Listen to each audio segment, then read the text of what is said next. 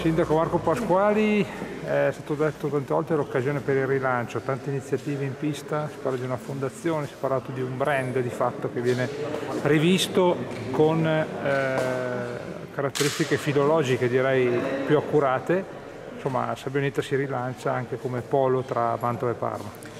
Sì, è una giornata importantissima quella di oggi in cui presentiamo il tanto lavoro fatto in questi mesi di chiusura. È un lavoro importante che tocca tutti gli aspetti del turismo locale, dalla riorganizzazione della gestione, quindi la nascita di una nuova fondazione con l'anno 2022, alla revisione di quella che è tutta la comunicazione a livello locale, nuovi social network, un nuovo portale internet, nuove immagini, una nuova comunicazione, un film che uscirà eh, nei prossimi tempi su questo tema e tutto questo è stato fatto partendo da ciò che avevamo già, quindi dalla storia di Sabioneta, dai suoi rapporti con la Mantova gonzaghesca e con la Parma del Cinquecento e riscoprendo appunto questi legami, questi rapporti fondamentali per noi che portano a nuove collaborazioni, allo sviluppo di sinergie fra la nostra città, quella di Mantova e quella di Parma e quindi tanto lavoro che è stato fatto, tanto lavoro che resta da fare, ma finalmente oggi Sabioneta si presenta agli occhi del visitatore, agli occhi del turista come nuova, rinnovata, moderna e capace di accogliere ed attirare eh, tanti tanti visitatori più che in passato.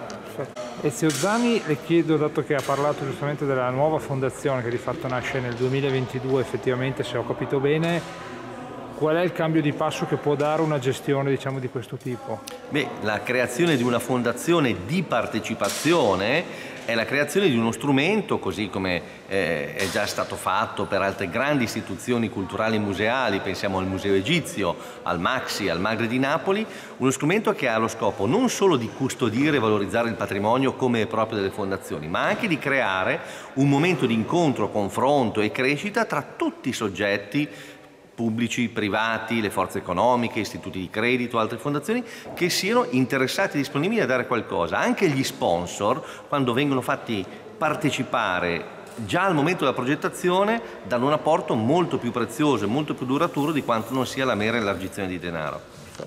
Insomma la carne, io le chiedo una, questa chiamiamolo, io lo chiamo falso storico, no? perché abbiamo sempre detto Sabbionetta Piccola Atene, in realtà è Sabbionetta Novella Roma, lo scopriamo adesso dopo 500 anni. Come, come cosa può dirci? Ecco? No, non è stato una durata di 500 anni, mm. è un'invenzione di uno storico eh, tardo ottocentesco, novecentesco che ha pseudo storico che ha mm, definito così la cittadina che non ha un minimo requisito per essere così definita, mentre invece basta osservare per esempio questo teatro per comprendere come tutto parli di Roma. Le certo. stesse scritte volute da Vespasiano celebrano il mito della città eterna. Certo, grazie. Passa sì, sì, c'è un passaggio che mi ha colpito sì. e che è questo rilancio nel futuro di Sabioneta, come c'è già stato per Mantova, però guardando al passato, a una ricerca attenta, direi filologica, no? quando si crea un brand, anche la scritta, come viene scritta la parola sabbioneta, il colore, c'è proprio una ricerca, c'è la storia che insegna a guardare al futuro, possiamo dirle così.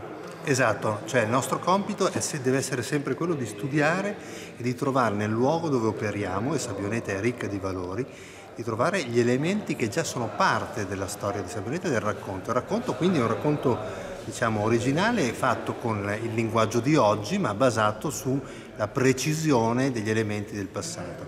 Sabioneta ha molto da raccontare sia per le famiglie che per i, per i giovani, per gli studenti e deve aprirsi e per aprirsi deve diventare contemporanea nel modo di comunicare.